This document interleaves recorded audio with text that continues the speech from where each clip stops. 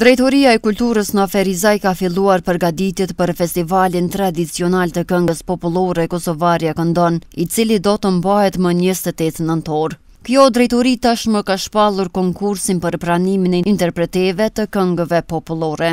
Udhëheqësi për kulturë në Ferizaj Sabri Pajaziti tregoi rreth përgatitjeve që janë duke i bërë për edicionin e 45 të këtij festivali. Në kuadër të kalendarit të aktiviteteve kulturore, padyshim zë vend edhe Festivali Kosovarja Këndon, që i kushtojmë një rëndësi të veçantë, bashkë me ansamblin e këngëve dhe valleve Kastriotët, që janë promotor i këtij festivali. Paraprakisht ne kemi bërë publikimin e audicionit ose konkursit për kandidatet që do të konkurrojnë dhe me katër nëntor do të përfundon konkursi, ose konkursi për audicion edhe njëkohësisht do të bëhet edhe si themi audicioni për me orkestrën Kastriotët për kandidatet. Pas kësaj periudhe fillojnë veç provat intensive, dyjavore deri në mbajtjen e festivalit.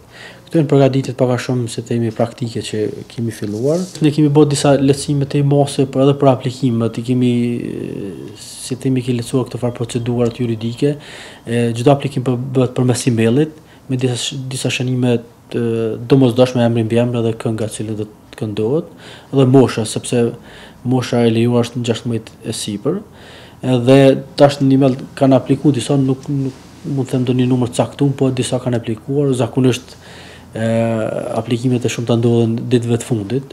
Duke folur për rëndësinë e këtij festivali, Pajaziti thotë se festivali Kosovarja këndon duhet të riprofilizohet. Ky festival ka pas një mision jashtëzakonisht të rëndësishëm, pse të them, pse mos të them edhe kombëtar. Ka qenë emancipimi i femrës ose inkuadrimi i saj në rrjedhat kulturore.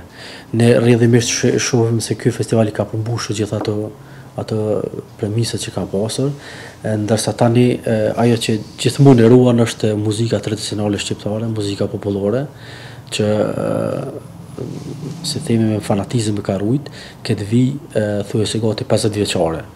Ne insistojmë gjatë gjithë kohës që ky festival jo vetëm të mos shuhet, por që ky festival të të ketë rëndësinë e vet, për shkak që ka ka një përfshirje nacionale, domethënë jo vetëm komunale. Ne kemi përkrahje solide si themi nga Ministria e Kulturës dhe përkrahje permanente nga nga Drejtoria për Kulturë, Rini e Sport, për shkak që ky festival është institucional. bashkë me festivalin e teatrit janë dy festivale të cilat e, e gati thuajse kanë bërë gjysmë shekulli jetë dhe kur themi gjysmë shekulli jetë kanë kaluar periudha të ndryshme kulturore, sociale, politike, çka po di tjetër. Dhe pajtohem edhe me faktin që thoni ju se ky festival gjithsesi duhet të riprofilizohet, po jo nga një individ, ndoshta duhet të bëhet një komision i veçantë sepse nuk nuk kemi atë të drejtë që të luajmë me me një traditë kaq të gjatë.